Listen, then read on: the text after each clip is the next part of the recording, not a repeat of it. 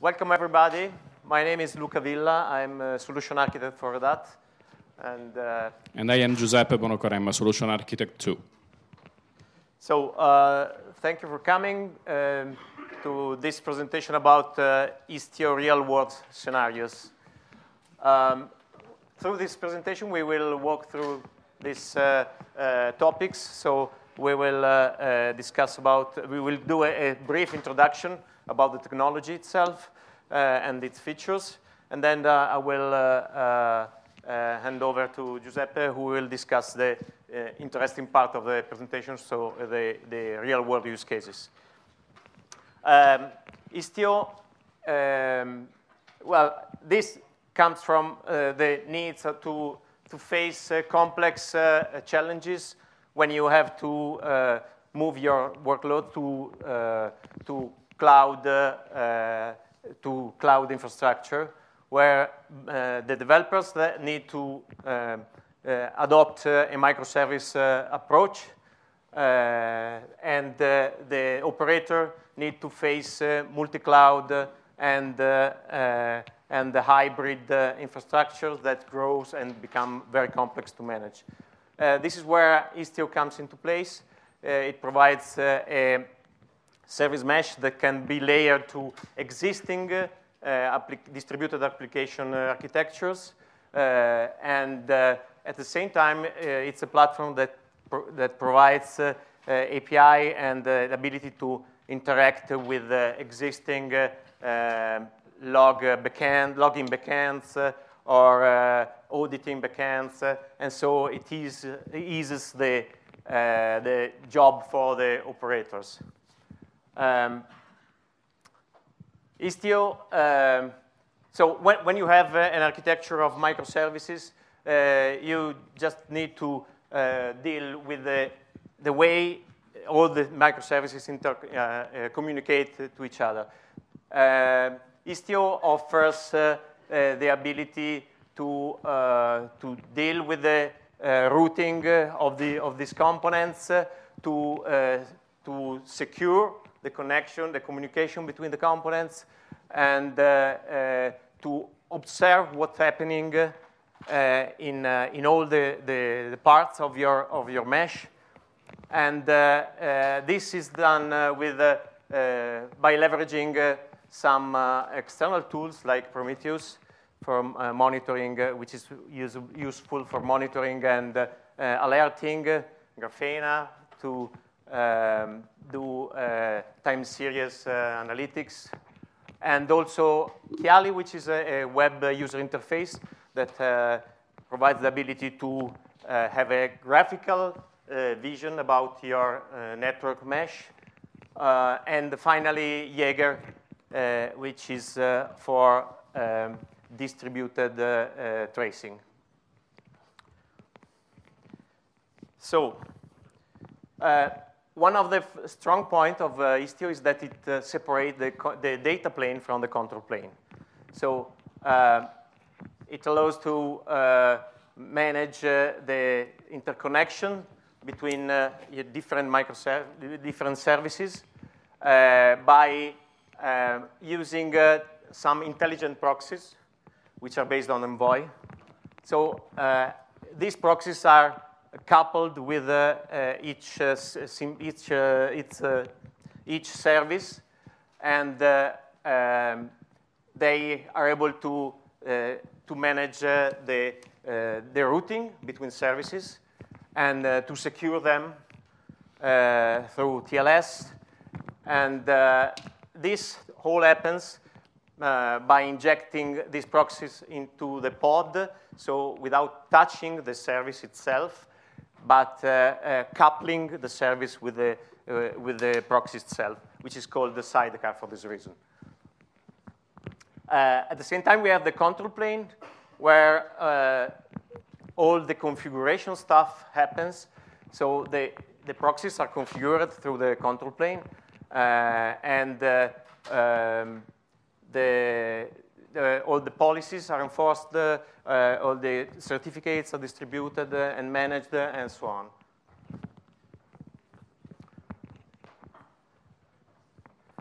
So uh, traffic management happens by um, well, if you have uh, an infrastructure that uh, scale, you don't want to manage this, uh, this mm, dynamic within your application because this makes things very complex. So decoupling the, the infrastructure scaling from uh, your data flow uh, uh, is a lot the, the um, configuration and the managing of your mesh. So um, in this case, uh, we have uh, the pilot, uh, Uh, which uh, provides the, all the configuration uh, uh, and the information uh, for the uh, routing and the traffic rules to the, to the proxies. And in, you can set very dy dynamic routing rules so you can do A-B testing, uh, or uh, you can do uh, canary deployments, or gradual rollouts, or you can even do failure, failure recovery by setting timeouts or uh, uh, setting some uh, circuit breakers. And finally, you can even inject faults to test uh, the resiliency of your infrastructure to, uh, to faults and to, uh, to, set, to test the compliance to the recovery policies. Istio assumes that all the traffic that comes into the mesh are passing through a proxy, an envoy proxy. Uh, this allows to uh, to set these uh, dynamic routing policies, so A-B testing or, uh, or canary deployments, also for the user-facing services. Um, at the same time, you can set an, an egress gateway, so a proxy for the outgoing traffic, which is not mandatory, but it's uh, strongly suggested because in that case you can uh, deal with failures even uh, to the traffic that is flowing to external services. And uh, you can also uh, do fault injection and test the behavior in that case. Um, the pilot is responsible for uh, keeping the, fr the, fresh list of the services that are registered with the platform uh, and uh, to make this transparent to the, uh, the application itself, and also to the, uh, to the Envoys proxies. so it's a pluggable architecture, and for instance, here we see that it interfaces with Kubernetes, and uh, it provides uh, the uh, service of the service discovery to, to the proxies, so that the proxies can have also uh, always a, a, fresh pool for doing load balancing, for instance. Istio also provides a, a, an interesting set of uh, security features.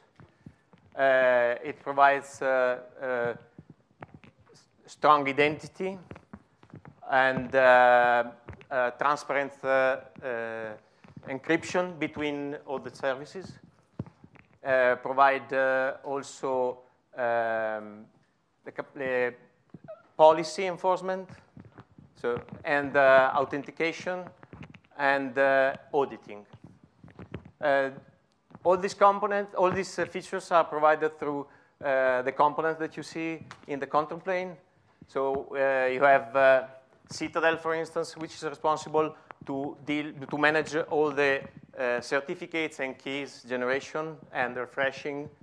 Uh, the pilot that is responsible to provide uh, strong uh, naming uh, for the services and, and access policies and authentication policy, authentication service, and the mixer, which is responsible for authorization and for auditing. And uh, so the, the goal of Istio is to provide uh, a secure by default uh, uh, mesh uh, where the, all the, the burden of uh, uh, keeping the infrastructure secure is put, taken away from, from the application itself and to some extent also from the operators. As we said, the, the mixer is uh, responsible for auditing uh, and uh, all the authorization part. So uh, it interfaces with a, a set of uh, uh, pluggable backends, like logging backends, quota backends, and so on. And so it, even in this case, it, the, the focus is on giving more control to operations but the same, at the same time keeping safe the, the application part from all this. Uh, as we have, uh, have, seen at the beginning, uh, all this is complemented with uh, a, a, series of tools. One is Kiali, which is the um, user interface for, uh, uh, for Istio. And it provides some visibility, graphical visibility of the the topology of the network and uh, from different point of view. And you can also uh, look into the configuration objects of Istio. These are just a couple of uh, screenshots. So here you see the namespace graph, uh, and uh, where you have already, at first glance, a, a, set of uh, informations like, like the status of all the routes and the objects and uh, the statistic about the errors. And this is a versioned application graph where you can uh, see different versions of the reviews uh, uh service uh, and uh, how they are interconnected. The last one is Jaeger, which is for distributed tracing. This gives the ability to uh, to do um, uh, very um, detailed tracing about uh, the, the, the, mesh and the application. And um, so you can see here, there is an example. You can search by service or, or uh, something else, and you can see all the traces that are, that are archived. And uh, every trace is compound uh, of different spans and you can uh, uh, dig into uh, every single trace, and you can see where most of, in this case, most of the time was spent during the, the operation.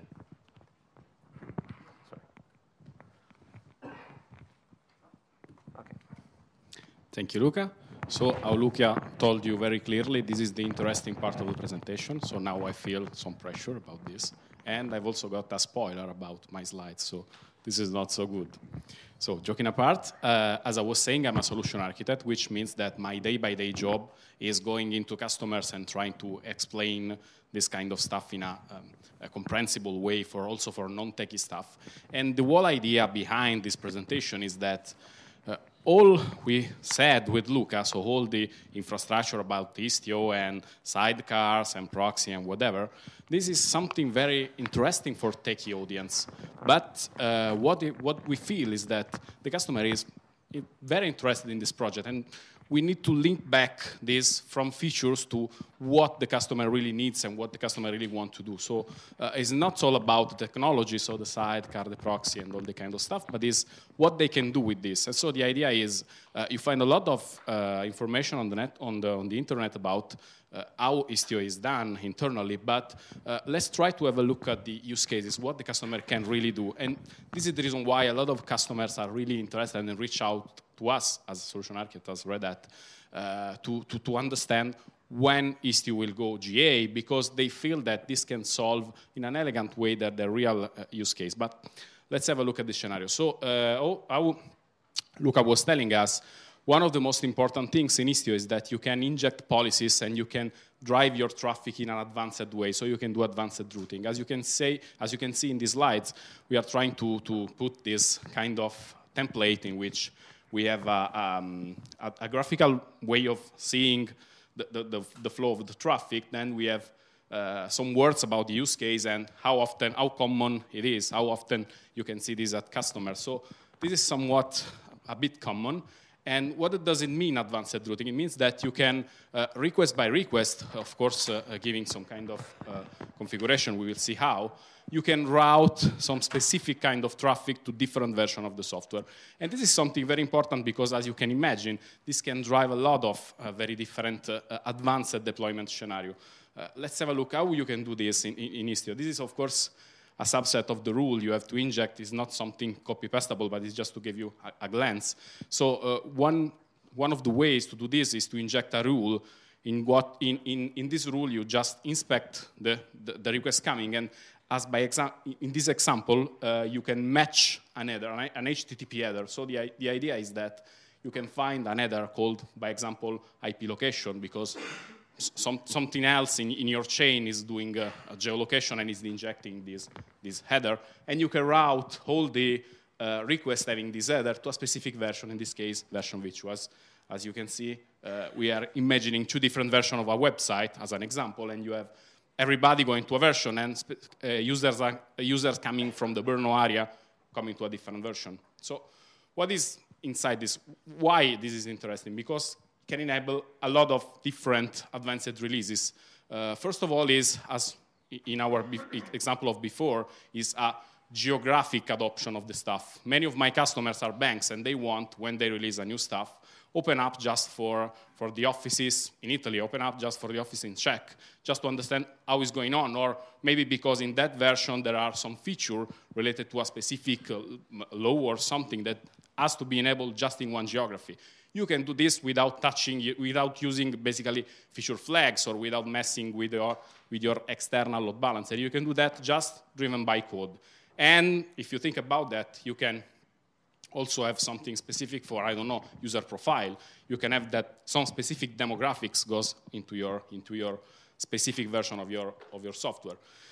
And this is commonly named, as many of you already knows, blue-green deployment uh, a specific um, version of the blue-green deployment called A-B testing is something very relevant as an example for online shopping in which you can do, you want to do uh, business testing against real data. So as an example, if I'm an online shopper and I want to put a specific button of a specific color and I want to test the conversion of this, I will sell more or less with that version. You can do it. And this is a very specific use case of blue-green, which is called A-B testing.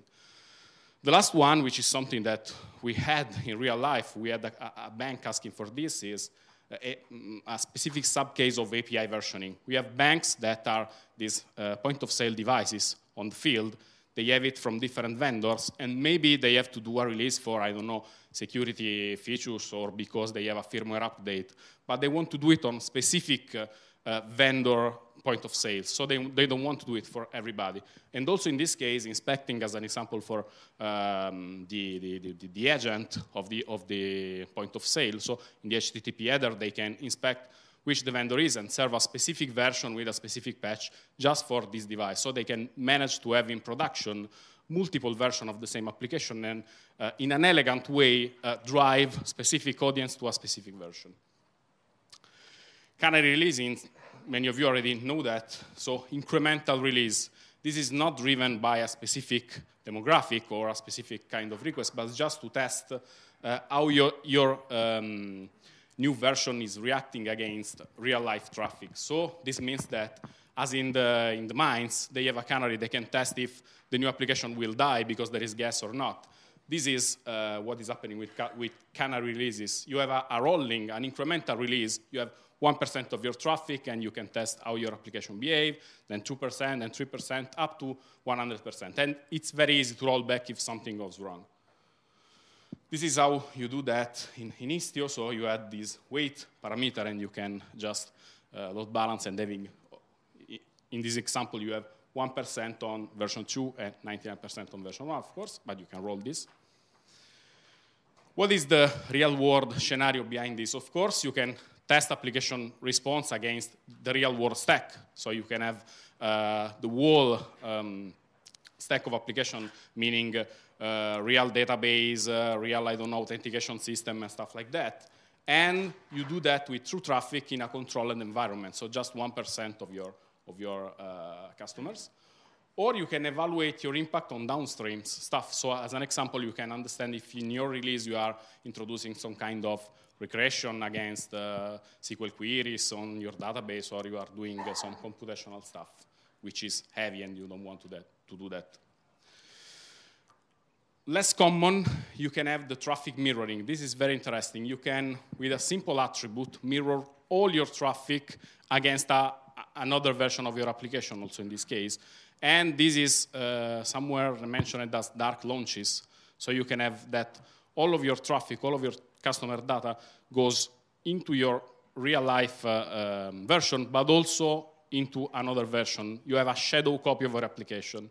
And even in this case, in an easy way, you can test your application against real life data. In this case, you, you, you will not have the impact on your customer base because the traffic is mirrored. So your customer goes into the real application, but the traffic is also copied onto a shadow copy. You can do this in a very easy way using the mirror attribute. So as you can see, you have version 1 and version 2 and the mirror attribute. And what's inside of this? Of course, stress testing against real data, also in this case.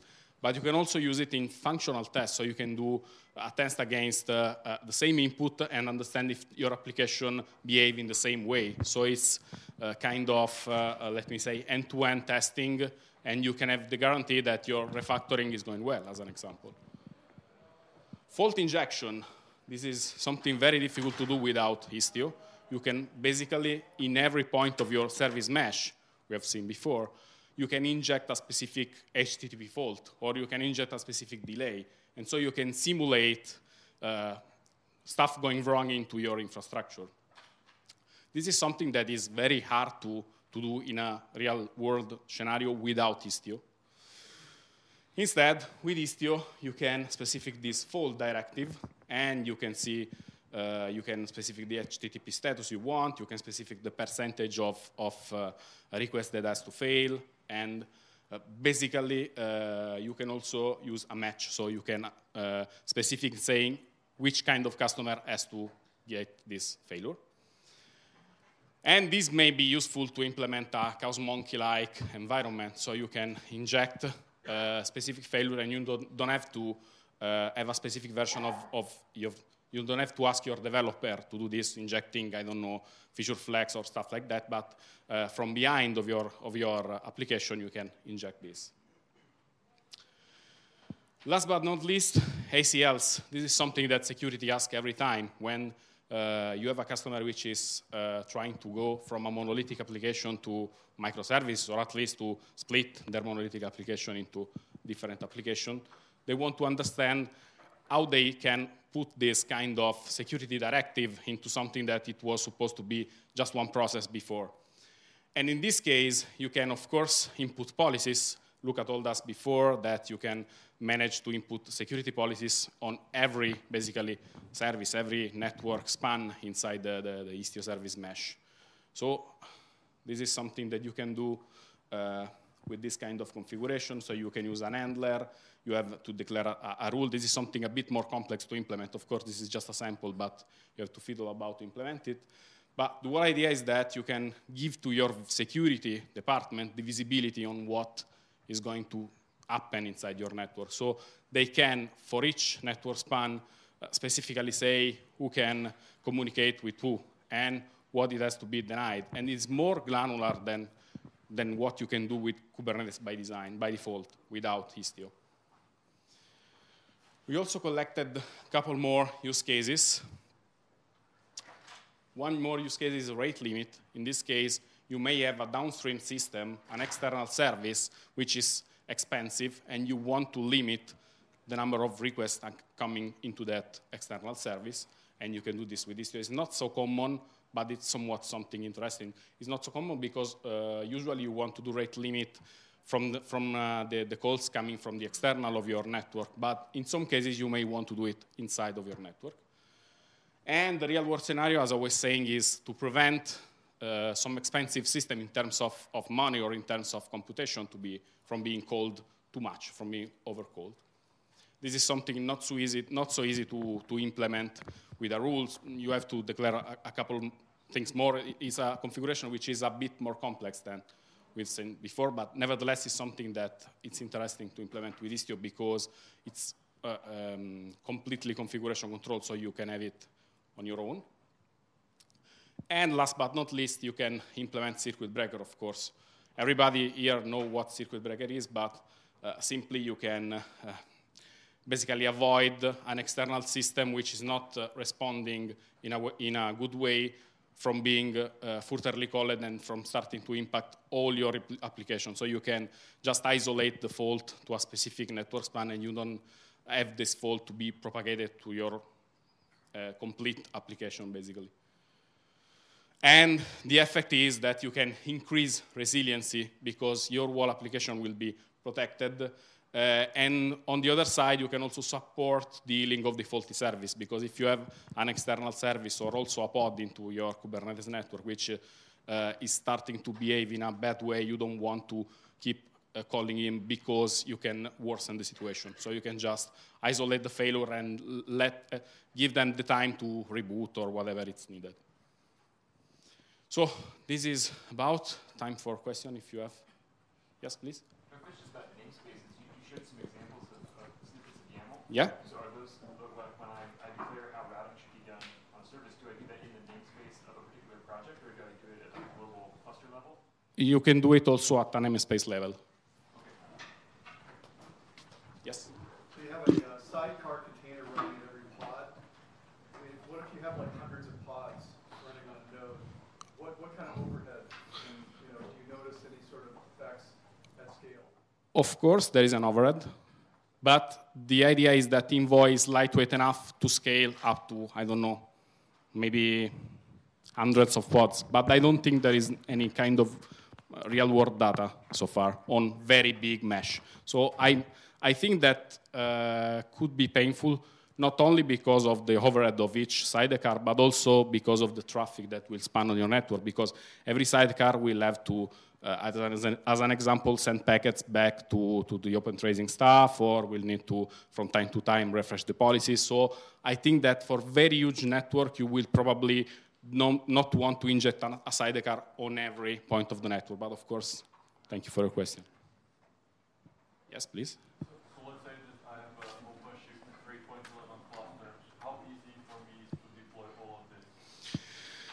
I think there is some YAML to do that. There is some, there is some also some documentation. yeah, there is also some documentation. Yeah. You can, in theory, do it also on a Minishift, but it's very heavy in, on, on, on resources. Uh, probably with OpenShift 4, it will become a bit better.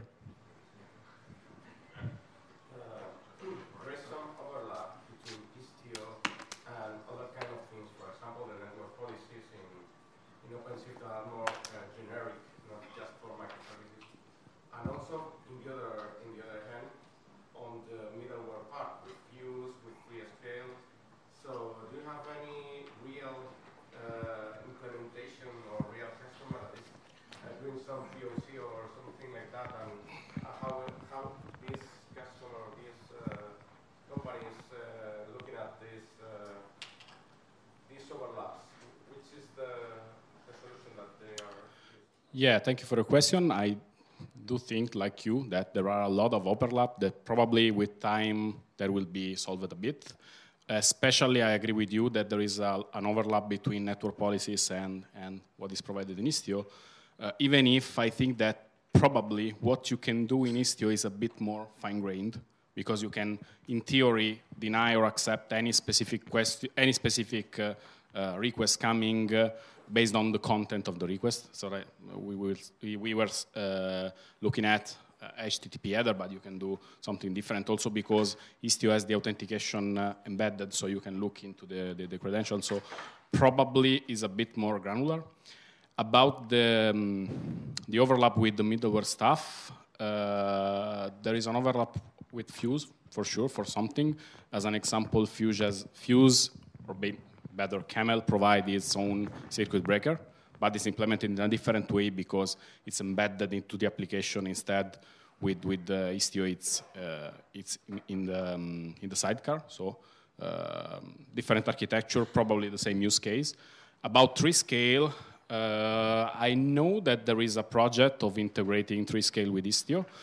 Uh, the main idea here, uh, taking apart the names, is that in theory, API gateway should be used only for traffic coming from outside into inside, and Istio should be used for the intra-cluster traffic. This is thumb, I think. And also, I think that right now, most of customers are looking into um, API management, mostly for authentication and reporting, not for all the other stuff you can do with Istio. As for real-world use case, I have at least two customers looking into Istio. Of course, I don't have any production experience because it's not GA so far. Uh, the two use cases are the one about point of sales, so customers which has, I don't know, maybe thousands of points of sales, and they need to uh, manage different versions, and now they do it completely manually and it's painful. And the other one, it's more about visualization, because customer, uh, when they start to split up their application into different microservices, they lose the visibility into the uh, flow. So for troubleshooting or I don't know, performance tuning is painful. And this is probably the most interesting thing for my customer. Advanced releases and monitoring, let's say, or at, or at least having a bird's eye view of what's going on into their Kubernetes mesh. Any other question?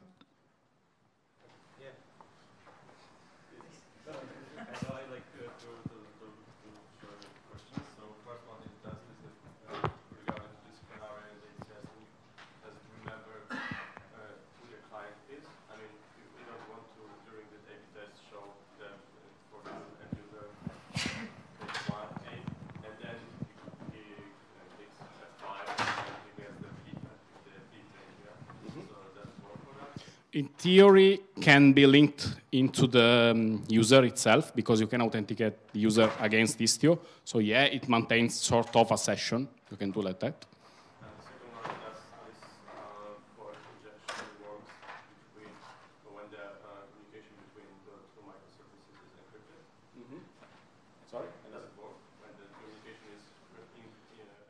In theory, Istio can manage the, the encryption for you. So yes, you can chain encryption and policies of, uh, I don't know, advanced routing.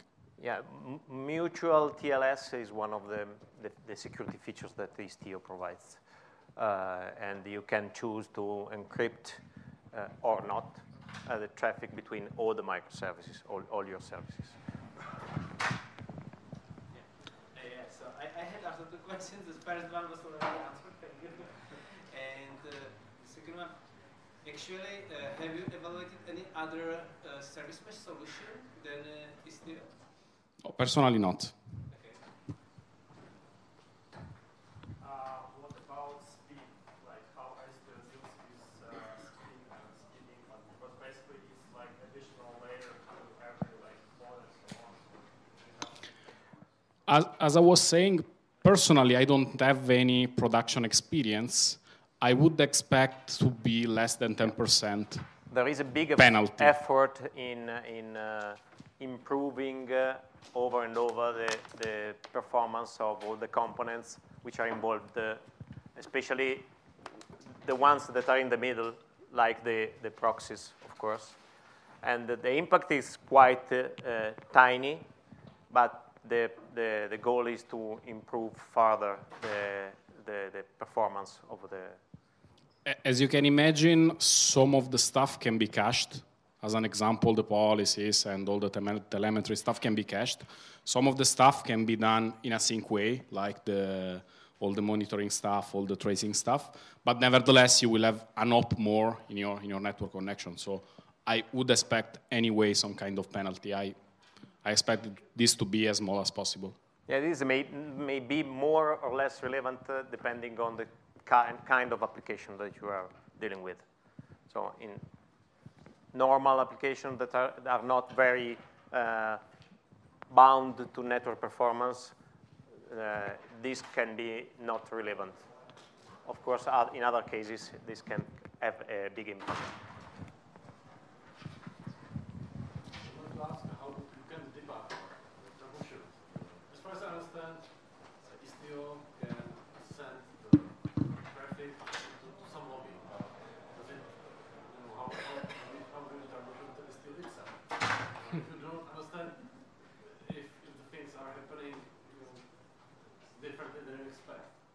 That's a good question. Actually, uh, maybe a couple of weeks ago, we had a customer which was, was asking about having an intrusion prevention system into the service mesh. I've never seen anything like that. Uh, about debugging, I think that in some controlled uh, environments, you can do something because um, at the end of the day, Envoy a, is a C++ component, so I expect him to have some kind of debugger that can be attached, or at least some, some logging, of course. But this is for sure something very interesting to explore.